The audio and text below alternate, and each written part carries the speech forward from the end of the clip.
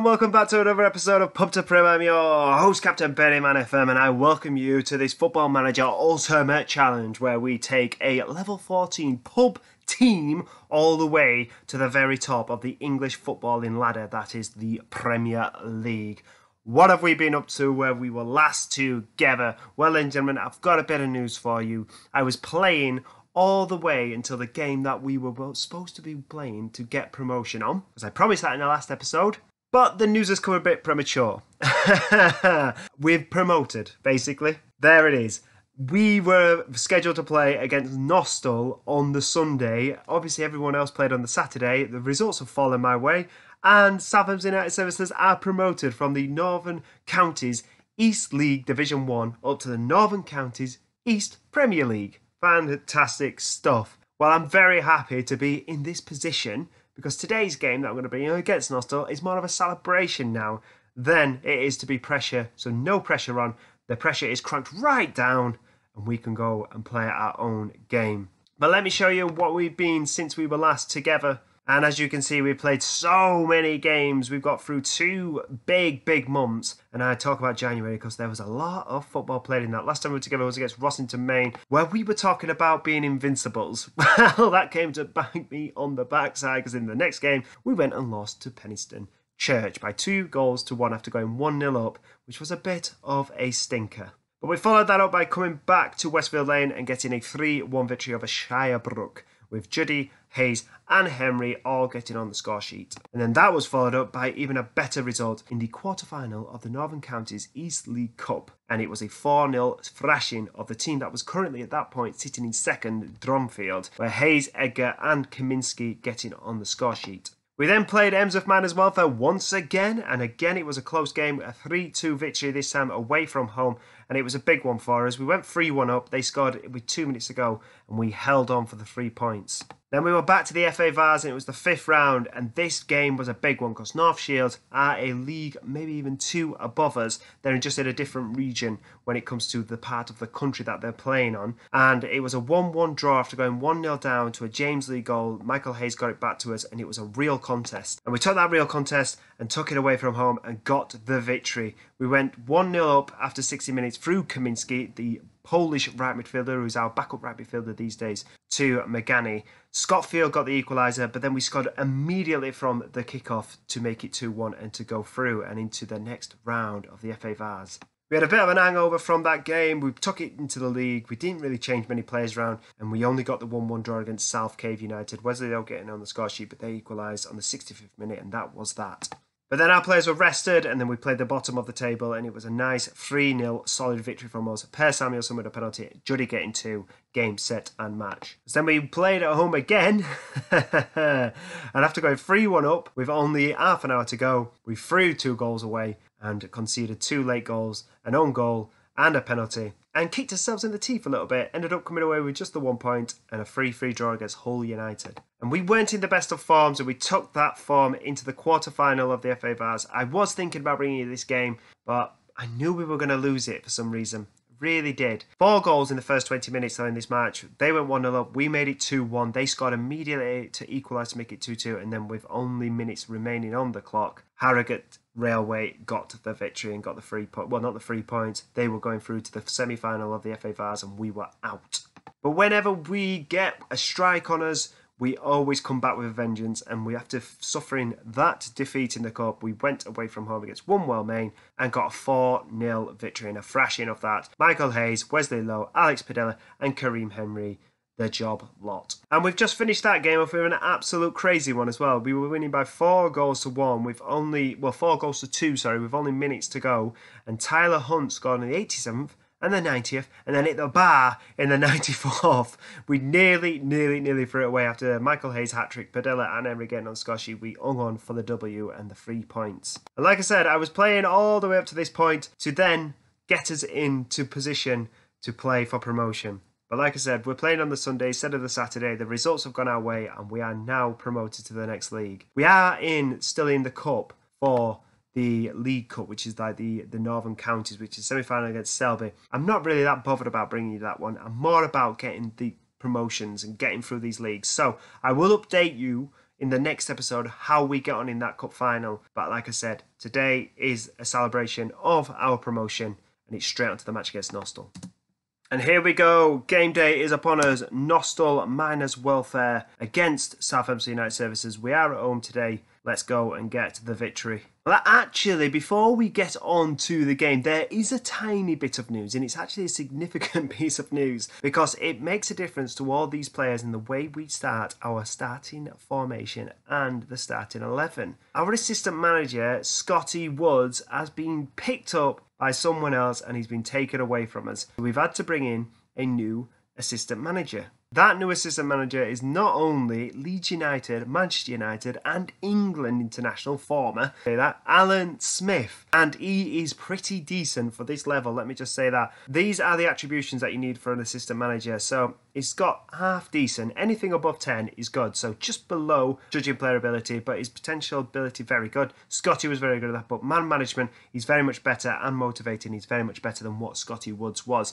Very disappointed to see Woodsy go from my assistant manager because we've shared some fantastic times together. Let's see what it takes for Alan Smith to take his position. Can he help us reach the promised land of the Football League before he's actually taken away himself? It was between him and Stephen Warnock, who is also former England international two caps as well. I don't know how I got these two to be on my board, uh, on my staff list. To be honest with you, I gave Alan Smith a bit of a pay rise and a promotion from being a coach up to assistant manager. But back onto the game and back onto the starting formation, and this is the starting lineup Alan Smith has helped me pick. It's Grajowski and goal. Youssef is going to come back as our main right back these days. Instead of Nathan Breeden, we've got Jimenez, Lowe and Brewster, McGanny, Edgar, Samuelson, Juddy, Padilla and Hayes up top. This is what I'm talking about the difference. You bring in a new assistant manager, you ask them for their coach report, and they can say that they prefer a player over another assistant manager did. That was Nathan Breeden was always Woodsy's first choice at right back, but Alan Smith prefers Youssef, and I am sticking with him. They're going for a 4 2 3 1 system, pretty much all regions in their team as well as ours. I'm going to come in there passionately and I'm going to say, give the fans something they're expecting from us today, and then come nicely, nice good cop by cop, and say that I believe in them very calmly. Take out to the pitch boys and deliver for us. It's a celebration, the pressure is completely off. And the first highlight after 13 minutes does go to Nostell Miners Welfare. Um, we are closing them down though. The Gegenpress is working well, and Juddy does win the ball back, and here comes Ekan. Can we break? They've got plenty of players behind the ball, so we keep it nicely. And the ball comes out to Megani, and Emiliano Megani goes for the cross early, bounces off their defender, falls to Edgar, puts the ball back in. Craddock with a terrible header. It bounces around a couple of times, and Juddy then on the volley whacks it wide. Right, they get the game underway here, and after 22 minutes, it is even Stevens it's a clearance from there, guys, and no one's closing Brewster down. And here comes uh, Neil Brewster, bringing it forward. He goes for the long ball over the top. Taylor wins the header. Lee picks up in the middle. Hayes wins the ball back. He's got a player in the middle. Can he give the pass to Padilla? He can. He puts it into the back of the net. It wasn't the greatest pass in the world, but it was enough for Padilla to get there, tap it in, and get his 24th of the season. And this is a fantastic start from us. I was about to say this is pretty much game over because we don't normally throw any leads away when we go in front, especially at home. And it's going to be a mountain for Nostell Miners Welfare to climb already. I can't get the words out of my mouth today. Saying that though, 33 minutes on the clock, and here come Nostell now. They've had a lot of the ball. We've kind of sat off them and then wait for them to kind of dilly dally on it a little bit, and then we've cracked them on the break. And I feel like that's what's going to happen again. And here comes Hayes, Juddy, Hayes, and Padilla all working really well there. But then they do get all the players behind the ball, and we start once again. Here comes Brewster to Samuelson, goes for a ball over the top. Here comes Juddy. Lovely pass from Samuelson to Hayes. And you know what? If Barcelona scored that goal, we would be standing and applauding. So that's what I'm going to do. Applaud that one. 23 goals this season for Michael Hayes, the Gibraltar international. Juddy with a nice little bring down, gives it inside. There's Hayes. It is 2 0. I'm going to say it. It's game, it's set, and it's match, and we're going to be celebrating promotion like champions. Saying that, though, ball goes into the box, and we're going to break here. And could we get a third before the break? 10 minutes to go before half time, and here comes McGanny. Can he get the ball into the box? He's got plenty of players. It's Juddy to make it free. Oh, he smashed it against the bar, and there is Edgar with the rebound to tap it home. And it, we are absolutely flying today. We've got a fantastic performance. We've been very inconsistent recently. Felt like the pressure was getting some of the lads, and like I said, the pressure is off. And wow, I mean, he hit that with some force. It bounces off the bar. Edgar's there with a tap in. It's 3 0. It's over. It's half time and it's 3 0 to the soldiers. And all I can say to the lads is that I'm very pleased. Just keep it going, boys. Playing out of our skin today. They get the game underway. They've got a player called Salami. Here goes Megani with a free kick. Oh, he smashed it against the bar. They get the ball away and oh, they survive. I'm going to make a real quick substitution. I know we're 3 0 up and we're absolutely flying, but I just want to show you this lad who has been playing really well recently, Rafael Kaminski who is a Polish right midfielder. We've had him since the very beginning of this save, and but he's only just started breaking through. And as you can see, he's played a couple of games this season where Megani's been out injured, and he played really, really well in a couple of those games. So I, I feel like he deserves a chance. We're going to get Samuelson off as well because he's on a yellow card, and that's what we'll just leave it with that for now. 10 minutes to go, and there's still highlights here. This game is not over yet. They believe that they can get something. Here comes Dale and he fires it into the back of the net. And we've shut off here. We've definitely shut off. We've not played very well in this second half and they just had a chance before and they get a chance straight away, straight after that first one. And I'm not sure where Wesley Lowe has decided to go there. He just left his man and he fires into the back of the net for the fourth of the season. It's South Elmsall United Services 3, Nostell Miners Welfare 1. And there's another highlight here and I'm getting a little bit worried, if I'm going to be honest with you. Murray heads the ball away. Can we get a fourth and just put this game to bed? Kaminski now puts the ball into the box. He's headed away. Here comes Padilla with the header. It bounces around. And here come Nostell. And Nostell are now coming forward. And Dale's going to beat Wesley Lowe to this. And can he get a second? He can. And it's 3 2. Ah, Jesus Christ, what's going off? what is going off? Egan with the ball over the top. He knows he had the pace of Wesley Lowe, and Wesley Lowe is literally running in quicksand there. And he fires it into the back of the net for his fifth of the season. And with nine minutes to go, this game is now on a knife edge. And oh my god, I can't even change anything. We're going to come off attacking. We're going to go into a balance. But hopefully, we do not concede a third goal here and absolutely implode. Or can we get a fourth ball goes into the box? Marshall's there. Edgar goes for the strike. It's bounced away. And these are breaking us. They're beating us on the break. I'm telling you. But the ball this time is not so good. Youssef does pump it over the top. Padilla's going to try and keep it in. He does. Here comes Juddy. He's hit the post. And they're going to get this one clear. Bruce is on a 6.0 at left back. And got Curtis Carrington on the bench, who I believe will just do a job for this last 10 minutes or so.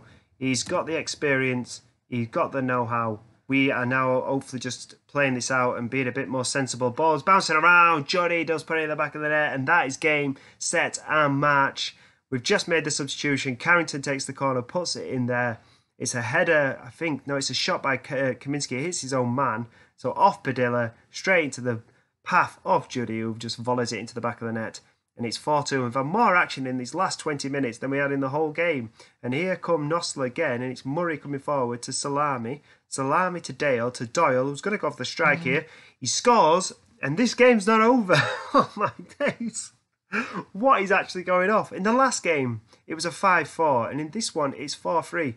And if this is not alarm bells for me that we have not got a very good goalkeeper and a good defence, I mean, that one should be saved. He palms it into his own net. And this could be the end of Gojowski's season because he's not playing very well at all. I'm not going to touch anything. We're just going to try and hold on here. I think time is going to be on our side, and I think the referee is about to blow. We've now gone over the 95 minutes. Kaminski does really well, and we walk away with the smallest of margins of victories.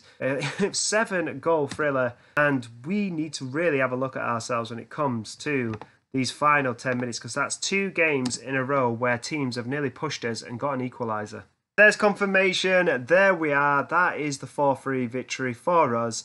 And I'm just going to show you the stages. It shows you there the P standing for promotion. We are into the other league. I'm not fussed if we win the league or not. I don't really care. I mean, it'd have to be a massive collapse for us to lose the league. We are literally only a couple of games away. I would say one or even two games away from maximum points. And we will go on and win the league. It's been a fantastic season, and I'm not going to show you the rest of it. I mean, there's only a couple of games to go. There's just loads and loads of friendlies, so it just looks like we've got loads of games to play, but we actually haven't. They are money making games. I'm going to play on. We're going to play, hopefully, get to the cup final. We're going to go through that as well because that's not an important issue for us. And we're going to come back for the season number six off the back of promotion number five, and we're going to be in the Premier Division. Then we're only three promotions away from the Vanarama and the National Leagues. It's getting ever so close, ladies and gentlemen.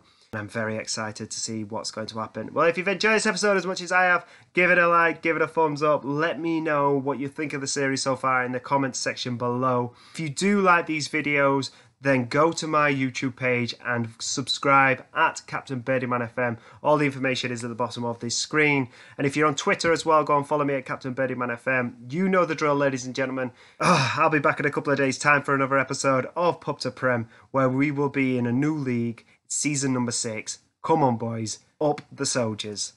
Bye bye.